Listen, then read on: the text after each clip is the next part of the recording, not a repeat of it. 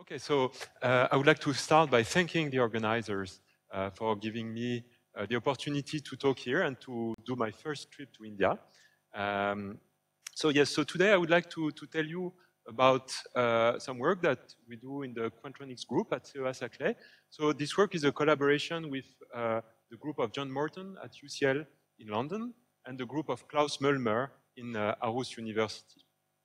And uh, yes, the title is uh, Magnetic Resonance at the Quantum Limit and Beyond.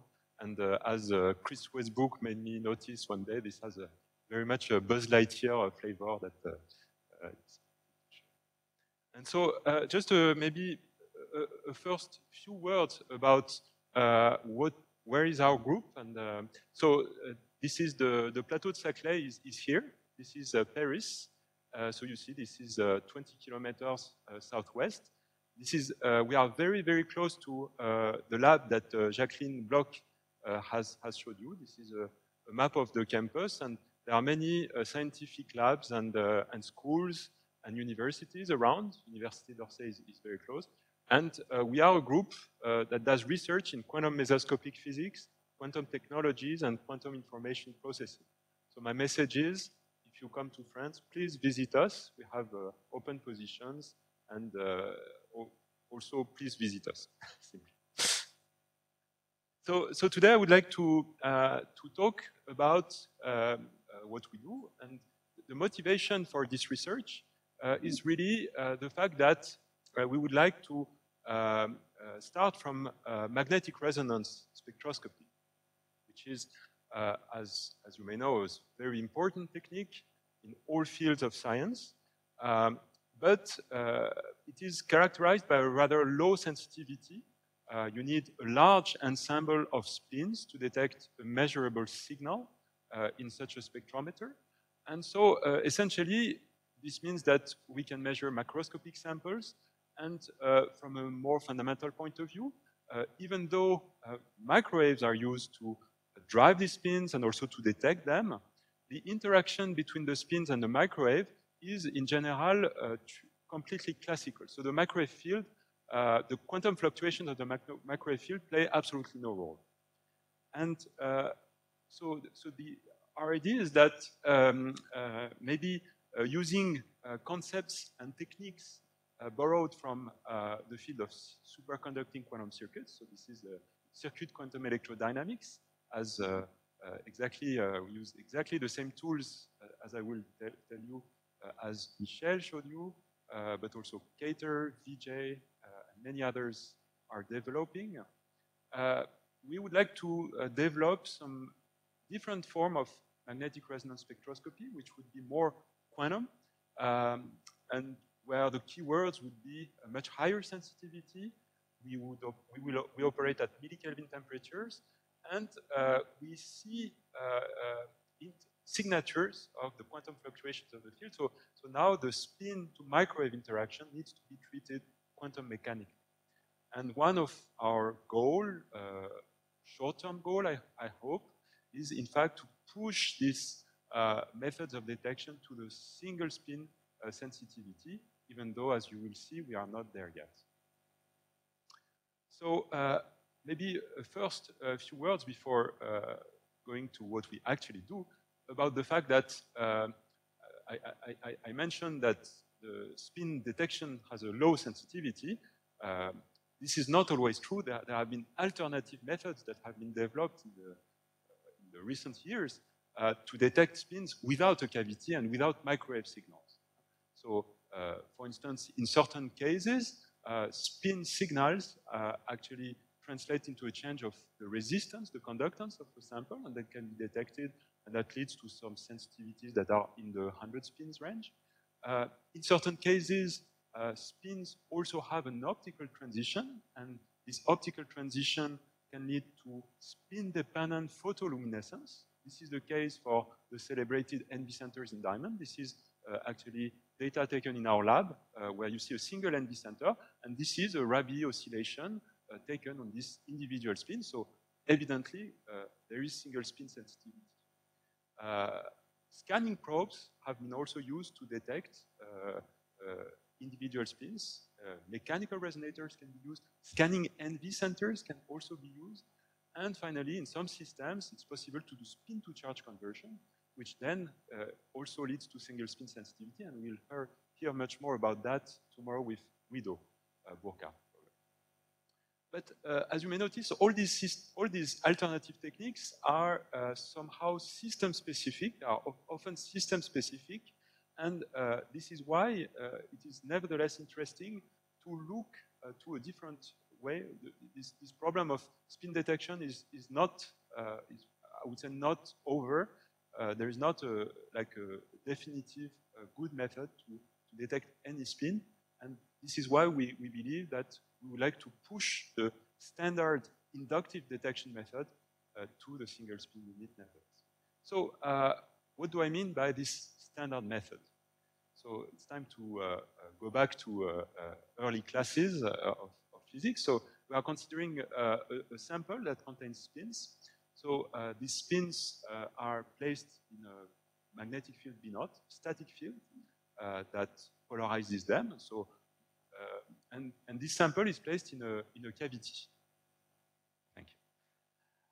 So uh, yes, so, so um, uh, and, and then this sample is placed in a microwave cavity that has a resonant mode, and uh, the, the, the, magnetic field is adjusted so that the Zeeman uh, splitting on the spins is resonant with the cavity.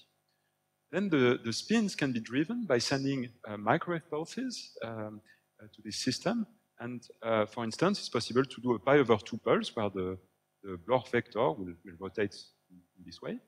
Um, and then after such a pi over 2 pulse, uh, one can wait. And during this waiting time, the spins, uh, uh, uh magnet, uh, the spins have various Larmor frequencies because we are now dealing with an ensemble of spins. And because of this spread in Larmor frequency, the um, magnetization, the, the uh, total magnetization of the sample will actually go back to zero, simply because each spin will rotate at its own frequency.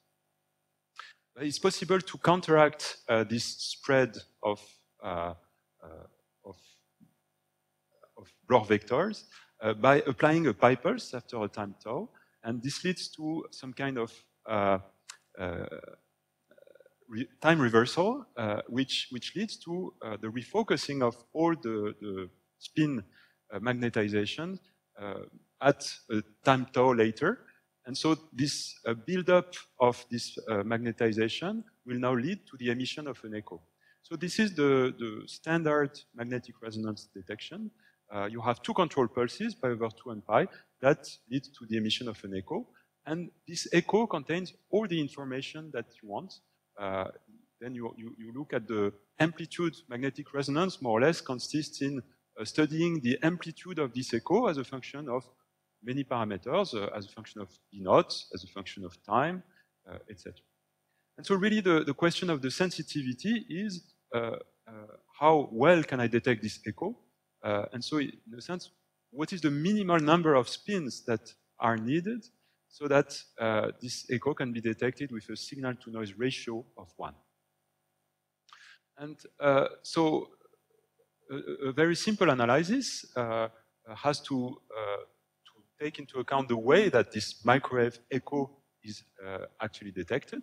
So this echo is uh, routed with a circulator to some amplifying chain, and this will contain a first amplifier, and then be demodulated by some uh, mixing with a local oscillator.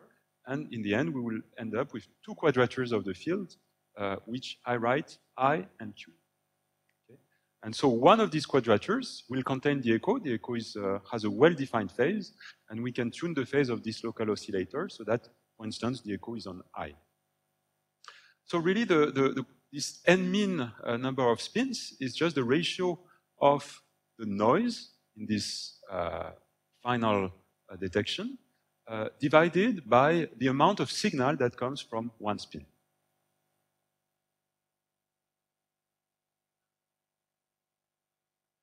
Uh, you mean this pulse? Ah, so, so this is emitted by the spins.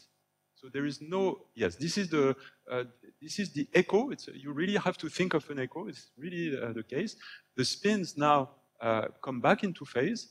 You see, during all this time, Uh, all the, the spins uh, magnetization are out of phase, but they will come back in phase uh, at this time, precisely at this time, uh, which will lead to the buildup of uh, macroscopic magnetization, transverse magnetization.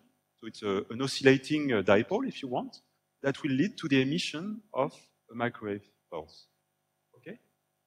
Yeah, so if, if this is not clear, please interrupt me because this is very, this is key to, to this talk. Okay, so, so uh, now what is the signal from one spin? Well, this can be uh, rewritten in dimensionless units as the single spin cooperativity, here again this concept of cooperativity, uh, which uh, which is a, a simple quantity uh, where the frequency of the cavity and its quality factor uh, play a role, uh, as well as the coherence time of the spin and this parameter g squared. And here g, again, is a key quantity. g is the spin photon coupling constant. So this is the parameter that uh, it describes the strength of the interaction between one spin and one microwave photon in the resonator. This is the Jaynes Cummings G. Uh, okay. So, uh, so this, so this is the, the, the, signal. And what about the noise? So the noise we can also write in dimensionless units. This is uh, this Ni is the, just the ratio of the noise power spectral density. I can, uh, you see this is noise. The spectral density here can be rescaled by h bar omega. And now this dimensionless number is in fact the sum of two different contributions that have nothing to do with each other. First of all, uh, there is the equilibrium noise uh, at the, the, sample that comes essentially by from the Johnson-Nyquist uh, thermal noise in the in the measurement line. Basically, this is just the, the thermal noise at the sample. And then there is also the, the noise which is added by the amplifier uh, in, the, in the detection chain. So this is really the, the sum of these two quantities that, uh, that, that, provide the total noise uh, at the output. And finally, the amount of signal is also rescaled by one quantity, which is the spin polarization. At finite temperature, uh, not all the spins uh, may be in the ground state, so uh, the signal is just proportional to the difference between uh, the number of spins down and the number of spins up. Uh, and so, yes. So, so, now if we, uh, if we uh, rescale, so, so we can write this, this formula as a, in, a, in a graph with on the x-axis, this is in a sense the, the signal, and this is the noise. And then we have uh, ISO sensitivity lines. And uh, really, the usual spectrometer, uh, commercial at 300K, is, is here. And you see that the, this minimum number of spin is 10 to the 13. So this is a very, this is what I meant by low sensitivity. Uh, yes. But it's of course possible to do better. And uh, by uh, going to lower temperatures and improving also the, the spin photon coupling and uh, the, the quality factor of the resonators, uh, up to a few years ago, uh, we, we, were at this limit. This was a bit, uh, the 10 to the 7 was a, a bit the, the, state of the art. And uh, in this talk, we are motivated to go further in this direction, more signal and uh, less noise by going to even further uh, lower temperature. And so uh, going to lower temperature means that this equilibrium noise, this Johnson-Nyquist noise, will be reduced. But of course, so this is at, at when the temperature is high compared to the frequency, uh, this uh, reducing the temperature will, will allow to decrease the noise uh, linearly in, uh, in variance. Uh, this is well known, but when we reach the, the, the, limit where the temperature is smaller than h bar omega naught over k, this noise uh, stops decreasing, and uh, we are now uh, in, because the field now in its quantum ground state uh, which is the vacuum. But even in the vacuum, field, there are field fluctuations, which are now fixed by the Heisenberg uncertainty principle. So this is what we call this, this quantum limit. And in our experiment, we use the same type of parameters that circuit QED experiments use, uh, 7 gigahertz, 20 millik, we are deep in this regime. So, but as I mentioned, uh, going to these very low temperatures is not sufficient to actually have a minimum noise at the, at the output. One also needs to care about the noise added by the amplifier. So this is why, uh, in our experiments, uh, we have introduced, we are also using uh, the new tools that have been developed by Circuit QED uh, to have the lowest noise possible. And we are using uh, the amplifiers that Michel has uh, described in his lectures. These are the Josephson parametric amplifiers. So we use a slightly different design than Michel showed, and I will describe it in a few words. But essentially, uh, the principle is very, very similar to what Michel uh, told you. And here is a list of references that describe this type of devices. And there are many other papers. so uh, our device is uh, essentially a LC uh, circuit, superconducting LC circuit, uh, which is measured in reflection. So it has one port. The signal is routed onto the this, this resonator by a circulator then it, uh, it enters the resonator and leaves it. So uh, this LC uh, oscillator also contains a chain of squids, an array of squids, and this, this is the active device here. So now, if, if there is, so, so the, the, squids behave as a tunable Josephson inductance. And so the, this, this Josephson inductance is tuned by the magnetic flux that threads these, these loops. And so uh, by changing this, by passing current uh, into a nearby antenna, one can uh, change this, uh, this magnetic field, and uh, this leads to a tuning of the resonator frequency. This is the tuning curve, uh, which is shown here. You see that you can tune by quite a, a, large amount, a few gigahertz, as a function of the, of the flux. But now this is by, I was speaking of DC current, uh, but uh, then we, we, can tune the DC current at a given point uh, for the, the frequency at which we want to operate the amplifier. But then to actually perform amplification, uh, we need to pump the system uh, and we need to provide, this is the way that we will provide energy that will lead to amplification. And this pumping is done by uh, the same line, which is here. and this antenna, via this antenna, we will also send some AC pump tone uh, which is at more or less twice the resonator frequency. And this will lead to parametric amplification, and this time the signal uh, will actually leave the device with a higher, a larger amplitude than it, than it entered by down conversion of these pump photons uh, into the signal mode. So this is, uh, in a sense, this is the, so it's, um, uh, it's, it's a degenerate, so compared to the JPC, it's a system in which the signal and the idler are in fact uh, the same, the same mode. It has uh, one less mode than in the JPC. And so you, you can see that this system uh, amplifies. So this is uh, the gain uh, as a function of the detuning between uh, the signal frequency and half the pump frequency. this is the, the, the half the pump frequency is the frequency at which the gain is maximum.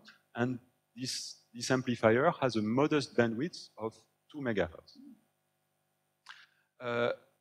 Note that uh, we use, so in this, uh, in this talk, so we, we, we, like a lot this design uh, because it allows to operate uh, the amplifier in the degenerate mode, as exactly as Michel explained. So in this degenerate mode, the, the pump is exactly at twice the signal frequency. And this is a slightly more complicated mode of operation because then the gain will be phase dependent. Uh, as, as Michel explained, uh, it will actually squeeze the signal. One quadrature will be amplified, the other will be de-amplified. And this is what we see here.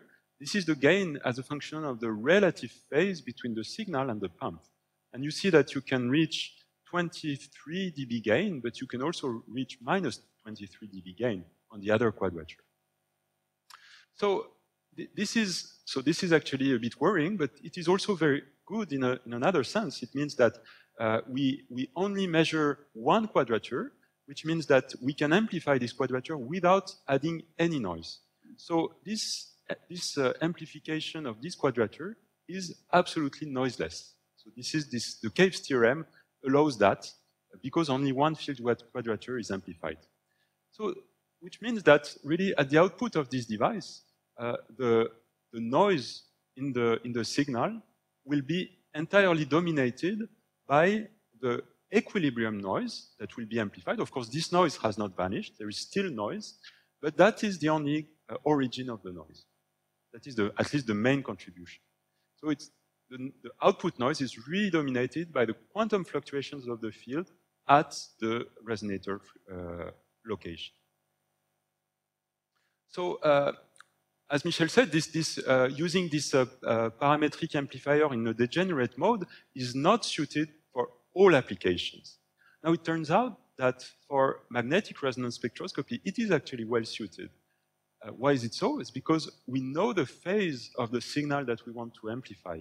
The signal that we want to amplify is an echo that comes from a spin ensemble. This echo is triggered by control pulses, but the phase of these control pulses is also uh, controlled by us. So we can very well arrange things so that the, the phase of these pulses is chosen so that the echo emitted is, has the right phase to be amplified by the JPA in degenerate mode. So this is a, a schematic. Uh, so, so I've spoken a lot about the setup, but uh, now what kind of uh, actually res resonator uh, do we use, and what is the, the, the ESR uh, spectrometer really. So, so we use uh, here again superconducting circuits to build high Q and small mode volume resonators. So this is a, a lumped element LC resonator. this is the substrate. It should be as inert as possible. Uh, and then on top of it, we just have this, uh, this uh, comb, which is a, a, capacitor, and which is shunted by a wire uh, an inductor. So it's really the simplest circuit one can think of. And the active region of this device is this inductance for us, because this is where the magnetic field will be maximum and will couple to the spins in the neighborhood. So in, the, in most of the results that I will show, we use a wire of 5 microns uh, width, and uh, this, this wire, so the current would uh, flow, the AC current would flow in this direction, which will generate a B1 field which will have this kind of, of uh, geometric dependence. And now we apply the B naught field parallel to the sample surface because uh, we, we don't want to induce losses in the resonator. If we would apply it perpendicular to it, it would cause a problem. And it, so we, we can apply more or less uh, any field we want, but in the, as long as it's in the plane. So uh, what about G? Uh, so with these parameters, uh, we find a, a, coupling, spin photon coupling of 50 hertz. So it's not so large. This is really a bit like uh, in uh, uh optomechanics, in Ash lectures. Uh, so essentially, we are in the weak coupling bad cavity regime of uh, circuitry. But nevertheless, we, we can do interesting things. So, so this, this sample is included in, in this copper sample holder. This is just a, a box, essentially, that is convenient to probe uh, this resonator uh, in uh, reflection or in transmission. And so this is a, a transmission spectrum of the resonator. You see that we, we can have relatively large Q of 300,000 at 7 gigahertz. So, uh, so far I only, so I, I, didn't speak of the spins. So in our system, the spins are in fact in the substrate, which is also uh, carrying the, the, the, resonator. And these spins are donors in silicon. So we use bismuth donors. So uh, imagine the silicon lattice where you replace one silicon atom by one bismuth atom. Uh, so now this bismuth atom has one extra electron, and uh, at room temperature, this extra electron is, is, ionized. It is in the conduction band of the silicon. But now, if you cool down the, the, the system, uh, there are hydrogenoid states uh, around this uh, bismuth plus ion, and so the electron can be retrapped in, this, in the vicinity of this atom.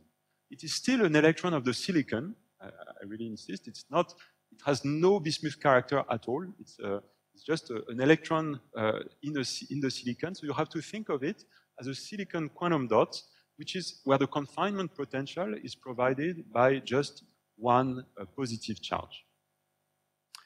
So uh, the only remaining part of the, uh, of the silicon really uh, lies in the hyperfine interaction between this electron spin and the nuclear spin of the bismuth atom. So the spin Hamiltonian uh, contains uh, a Zeeman term of the electron uh, spin, but also of the nuclear spin. This is the I operator, plus the hyperfine coupling of the two. And now bismuth is a, has a big spin, nine half, and so there are lots of states. It's not at all a spin half. and, and so essentially we have uh, uh, at, at, b equals zero, we have a, a two um, manifolds of, of, states, one ground manifold with nine degenerate states, and the excited state is, is 11 degenerate excited states, separated by 7.37 gigahertz. And when we apply a small magnetic field, essentially these degeneracies will be lifted, and so the, the 20 states will, will appear. And uh, but these 20 states, uh, not all transitions are allowed. There are selection rules. And to, to, to make the story short, this is the, the spectrum of the 10 allowed uh, ESR frequencies uh, at moderate magnetic field uh, uh, of up to 10 millitesla. And, and you see that we, so we can easily bring these spins in resonance with our resonator with a small uh, applied field. And, and, so, yes, and, and the spins, I must say, are implanted in the silicon. They are not everywhere. They are really at the surface in the first 100, 150 nanometers. So this is a picture of uh, the dilution fridge. So this is uh, uh, the, the 4 Kelvin plate where we put our uh, amplifiers. But uh, the interesting part is really the 10 milli uh, say, volume, which is actually quite large. So this is the interesting things in these uh, fridges. And uh, this is the, the, the, the, setup where you have coils and, and also the sample. And here you have various circulators and filters. This is quite typical for these experiments. This is a, a closer view in an, actually another fridge. Uh, and, and, and yeah, this is the coil. And the parametric amplifier is sitting in another box uh, next to this coil. Uh, so so they are connected by simple cables. Okay, so uh, now we have this system and uh, we do this spin echo. And, and so this, these are the typical signals that we detect. Uh, this is a, the two, these are the two control pulses. And then we have uh, we, an echo. So this we apply the pulses, but there, here we, we just receive the microwave signal from the spin, right?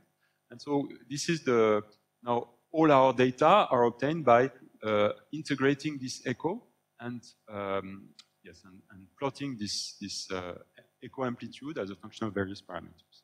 For instance, the magnetic field. So this is now the spectroscopy of the spins. This is the, the, the, the resonance line. And you see that it actually has some kind of weird shape. So I don't want to spend too much time uh, on, this, on this topic, but let me just say that uh, this, this uh, weird line shape, so this is really due to, uh, this, these are a, a, large ensemble of spin, huh? and normally we should see just one line. We see these two lines, uh, because uh, there is mechanical strain uh, acting on the spins, and which is due to the differential thermal contraction between the aluminum wire and the silicon itself.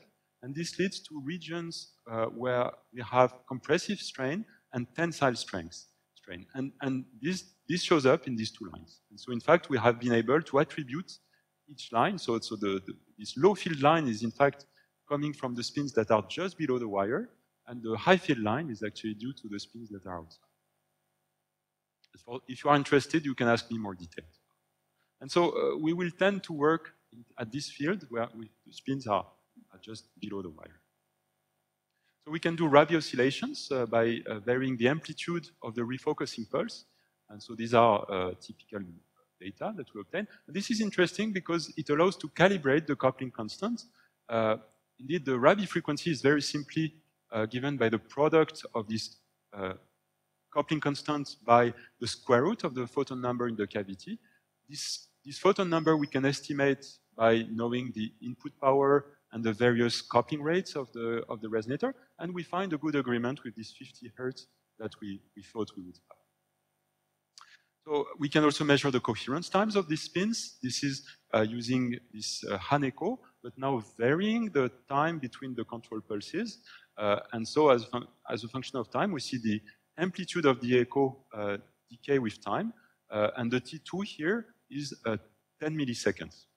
This is typical, so this is a long number, but this is actually typical for spins. This is why spins, these spins are so interesting. They can have long coherence times. In fact, much longer than this. This is so. This is a, a, a nice number. This is actually. Uh, I have to specify that we are working with isotopically purified uh, silicon, where uh, nuclear spins have been removed by working with enriched in sample where, uh, which is enriched in silicon 28. Um, yes. And so now, uh, coming back to this question of sensitivity, uh, we, we, we, would like to, to, determine it, and because this is really uh, our motivation. So uh, to do that, we uh, take a, a single spin echo sequence, and we, alors, so first thing that I want to mention is the interest of using the JPA. Maybe we can, we can first look at this.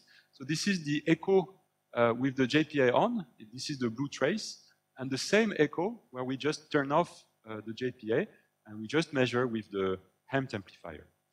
Of course, the signal would be much smaller, but we can rescale it uh, to get the same amplitude. Of course, the noise is also amplified, as you see. So this is a really clear and vivid uh, demonstration of the interest of using these amplifiers.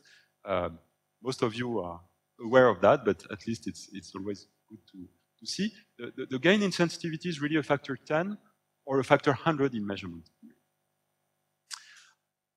Okay, so now uh, to, to estimate the sensitivity, we, we, we, uh, we, we, determine experimentally the signal to noise of this uh, echo, and we divide it by the number of spins that are participating in this experiment. And with simulations, uh, we can determine it uh, to be 12,000 12, uh, in this experiment. So really, with the signal to noise of 7 that we get, we have a single shot echo sensitivity of 2,000 spins. And uh, uh, similar numbers were obtained uh, in a later experiment by Steve Lyon in Princeton, also using a parametric amplifier. So this is so this is a this is a, an interesting number, but uh, the most interesting number maybe is, is also uh, uh, the absolute sensitivity. And for that, we need to know how, how, how rapidly we can repeat this experiment. Because of course, uh, we want to average the signal. And now this, this repetition time in, uh, in uh, magnetic resonance is fixed by one uh, physical quantity that I have not discussed so far. Uh, this is the time which is needed for this spin ensemble to actually come back to its equilibrium. Uh, so this is the, the and, and, for that, they have to deliver their energy because at the end of a spin echo sequence, they are more or less uh, anywhere on the Bloch sphere, more or less at the equator, but they have to come back to the bottom of the Bloch sphere, which means that they have to provide energy to some bath. And so uh, this is the, the, spin relaxation time. It's called T1. And uh, so we, we have to measure T1 in our system. And uh, what we find is that, uh, so this is, to measure T1, this is a, a, a, usual uh, inversion recovery sequence where we apply first a pi pulse, wait and measure with a spin echo the remaining polarization. And we find that uh, this exponential decay uh, has a time constant of 0.35 seconds. So you could think, wow, this is super long. It is super long compared to uh, many systems, in particular uh, circuits. Spins have uh, much longer relaxation times. But in fact, this is, this is actually super short. Uh, and I will explain why in a minute. But uh, basically, this number means that we can repeat this sequence every second, more or less, uh, because the spins will be back to equilibrium. So, so really, the, the absolute sensitivity is also 2,000 spins per root space. This is also uh, uh, this one, one second repetition time is, is possible. And so, in fact, this relatively short T1 is, is a good news because uh, spins can have relaxation time uh, of hours or even much longer. And in fact, this is a major problem for magnetic resonance. Certain spin species do not relax anymore at low temperature. And this actually provides, this, this forbids to even measure them. So in our case, the interesting story is that this short T1 is due to physics, is due to uh, the, the Purcell effect and to the fact that spins spontaneously emit photons via the cavity. So, uh, yes, so, so, coming back to this, this issue, so we have the, the, this, uh, this spin uh, half system where uh, we start from the, in the excited state, and essentially the, the, the decay mechanisms for, for spins are uh, exchange of energy uh, often with maybe other spins or uh, with a phonon, a nearby phonon. So this is, these are common relaxation mechanisms in, in spin systems. And one could also think of spontaneous emission, but in free space, if you calculate the, the rate at which this happens, uh, this is 10,000 years. So this, this, T1 would be 10,000 years. So of course, it's not a usual uh, and, and, practical uh, relaxation mechanism, and this is usually dismissed in magnetic resonance. However, when the spin is placed in a cavity, is of course the case in magnetic resonance, this decay uh, becomes enhanced by the presence of the cavity, uh, and there is, because uh, now the, the, the, cavity spectrally and spatially confines the microwave field uh, on, the, on the spin, and so uh, when the two systems are resonant, the spin can emit its, a photon in the mode, which will then decay. And now this, this Purcell rate, gamma p, is again given by the very same parameters that we, that we saw, these cavity QED parameters. It's essentially proportional to g squared and to the quality factor of the resonator. This is on resonance. When the two systems are not on resonance, omega s is different from omega naught, then this rate becomes smaller and smaller in a Lorentzian way. So uh, to reach this regime where, uh, now the, the, question is, is it possible to reach this regime where this rate is uh, actually the dominant relaxation mechanism? And for that, we need a small mode volume, because G uh, will be enhanced, and a high Q cavity. And this is exactly what we've been trying to do. So, so in fact, this regime of, of Purcell relaxation has been reached for many, many systems, uh, essentially systems with an electrical dipole, because then the coupling is much stronger. So this has been the case first for atoms, but then also for quantum dots in semiconducting uh, microcavities, but uh, not, not for spins until, uh, until very recently, in fact, until this work. And the interest of having this, uh, this, uh, this, this, regime is that precisely it allows to shorten T1 on demand and uh, to accelerate spin thermalization, which is a, a major issue in low temperature magnetic resonance. And so uh, now that we have this expression of the Purcell uh, rate on resonance, we can compare to our experimental parameters. And we find that uh, uh with this constant coupling of 50 hertz and quality factor of 300,000, uh, we predict a Purcell rate on resonance of 3 per second. And this is exactly what we measure. So we can say that we are really, we seem to be in this regime. So uh, I would like to spend a few minutes to explain that uh, we have further checked whether we are in this regime or not. And to check that, uh, it's interesting to see if we can control this spin relaxation. Indeed, this rate is proportional to G. So if we can tune a coupling parameter, we should be able to tune also this relaxation. Then there is also the detuning, which offers another tuning method. And uh, in fact, we've been able to, uh, to, to, demonstrate the two effects. And, uh, and so maybe it's, it's, interesting to understand that also in, the, in this system, in fact, it is possible to change the coupling constants. And the reason why is that this is a, a schematics of the, of the device. Which, this is the wire through which the AC current passes, and the B1 field, which is generated by this uh, resonator, is shown as this green line. So, so it's essential. And, but the spin's uh, axis, the spin uh, orientation is fixed by the B naught field. So if the B naught field is uh, orientation is chosen as I, I, I, took so far, which is parallel to the wire, then the spins will be uh, essentially perpendicular to this B1 field.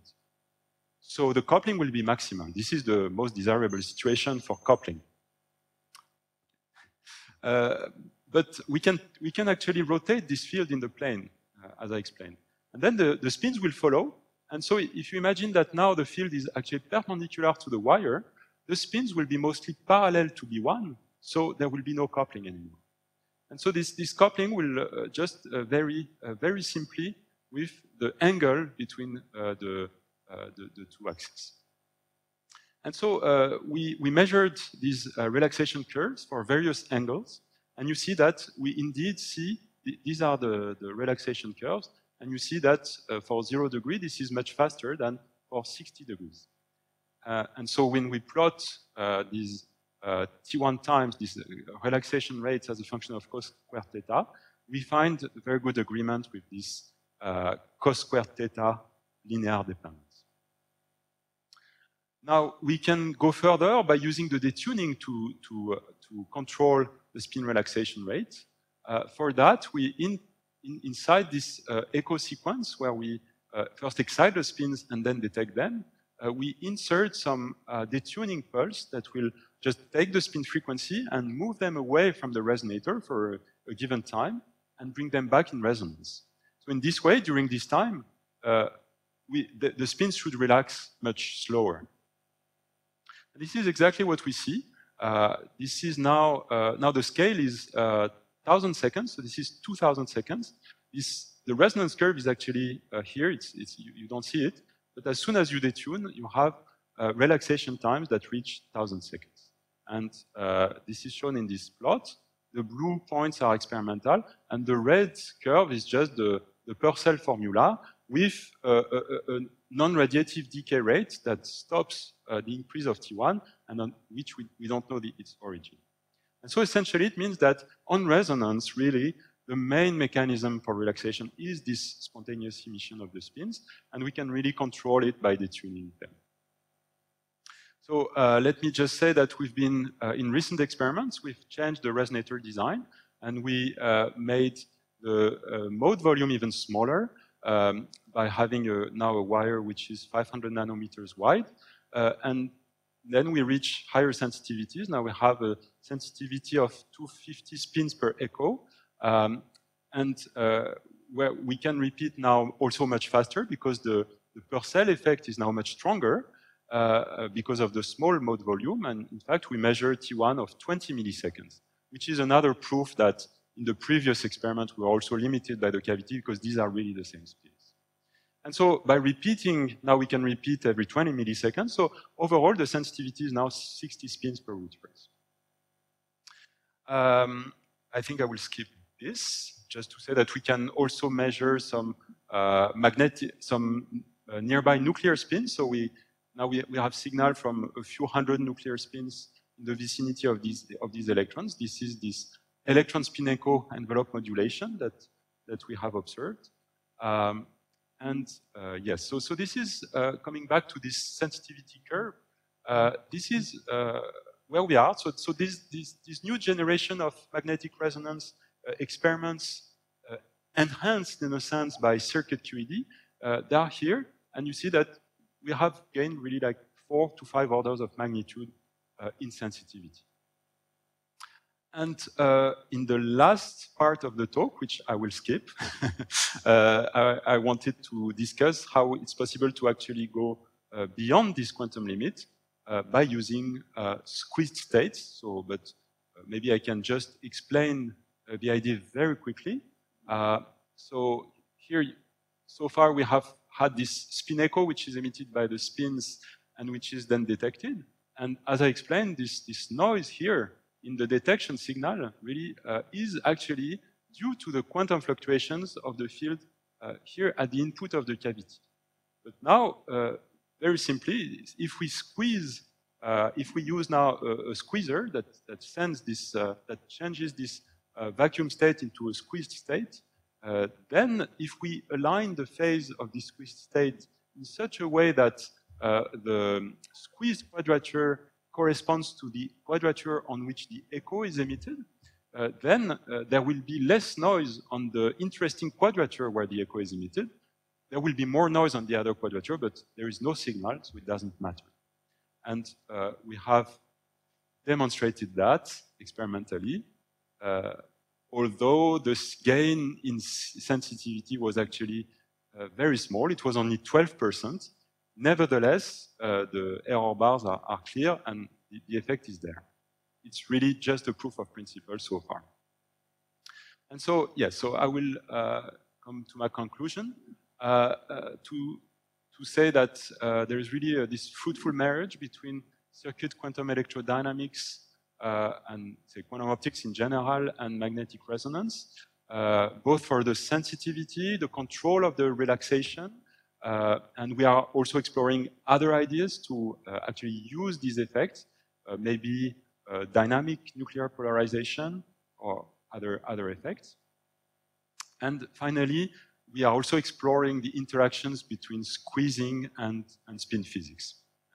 And uh, yes, and I would like to again acknowledge uh, my co-workers, and in particular, Audrey Bienfait and Sebastian Probst uh, and Jarryd Pla. Thank you for your attention.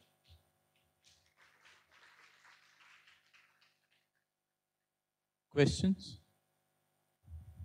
Uh, so no, the other quadrature is de-amplified. So it, uh, it also the, has no added noise, but it's de-amplified. So in fact, uh, then it's, you know, it's, it's, the noise will be limited by the follow-up amplifier, which is the HEMT. So effectively, yes, the other quadrature becomes very noisy. But it's not, the, it's not because of the amplifier. The amplifier itself does nothing bad.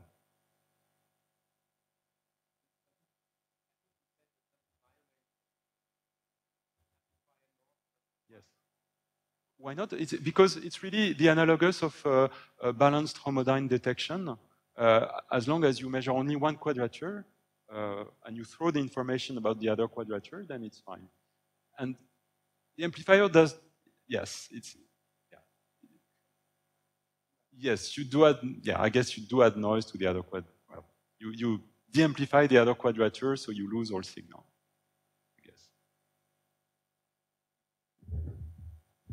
Um, so uh, this is probably a more basic question about uh, spin echo. What sets, I mean, in your experiments, the echo has a finite extent in time. Yes. That, is that just set by your amplifier bandwidth right now? Or? No, no, no. Uh, sorry, I don't think it's working anymore, but uh, I will speak loud. So no, it's, it's not fixed by the, the amplifier bandwidth. It's fixed by the, um, the control pulses and also the cavity. So it's, it's, a, it's a convolution of, of, of several things. First, the spins had a very short coherence time. It would be fixed by the spin coherence time. Mm -hmm. Now, in fact, this is not the case. The spins are very coherent. However, the, now the control pulse excites a subset of the spins in frequency ah. space. And this is this frequency uh, space that will give rise essentially to the, to the time profile. So it's really the, the, um, uh, it's the control pulses uh, filtered by the resonator that lead to the, to the echo shape. Okay, but, but does that, when once you solve other problems and try to push towards single spin sensitivity, is that going to be a factor? Uh, or that doesn't matter at all? No, it doesn't matter. Okay.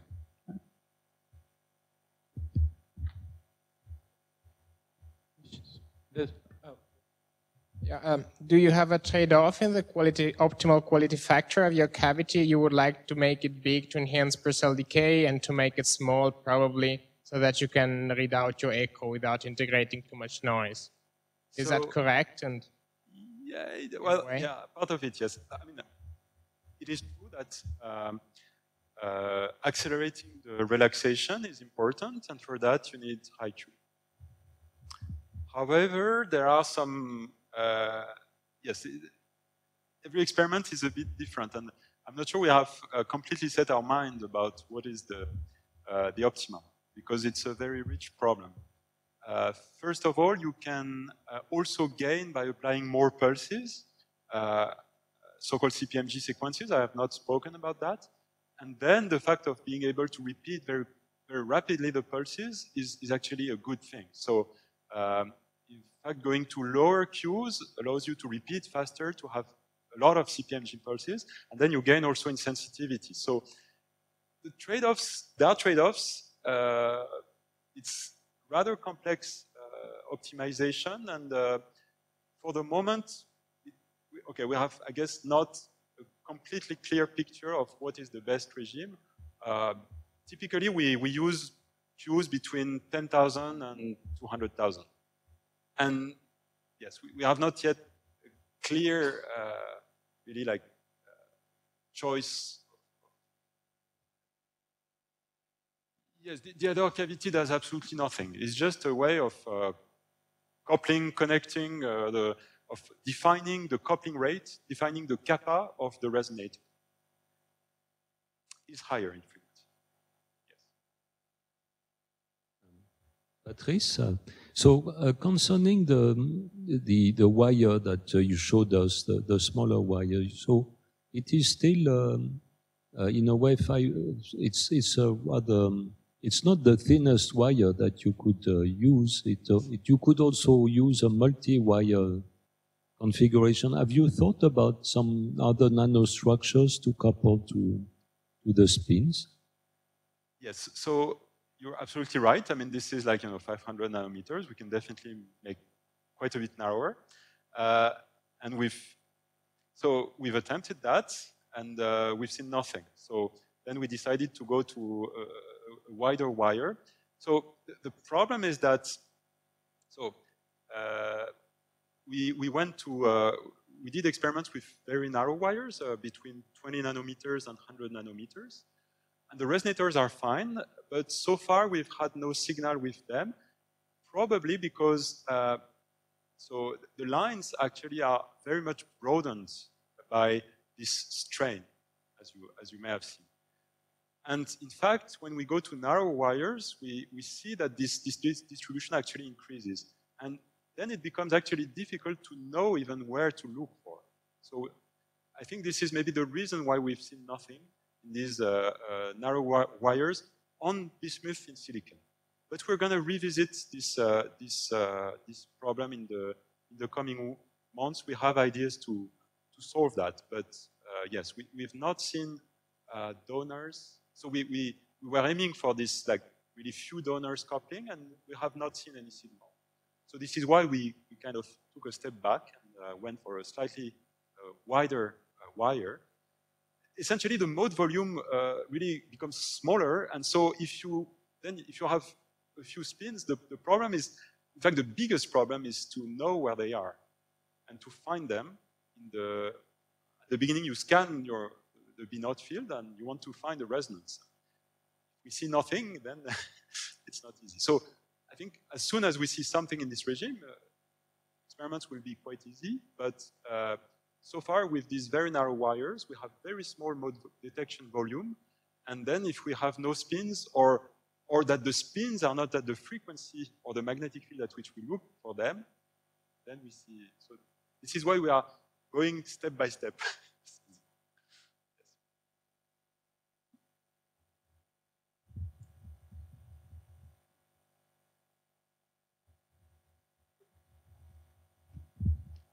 Could you say something about how fast you can actually Rabi flop your spin? Because that's probably set by also the Q and the microwave power you can deliver and so on. Yes, but it's really not, it's not a, I would say it's not a problem really, because, uh, so we were a bit worried about that, but uh, the experiments, the, the, the data that I showed, I think we, so, okay, I don't have the exact numbers, but we can definitely do uh, rotations in megahertz with quite moderate powers.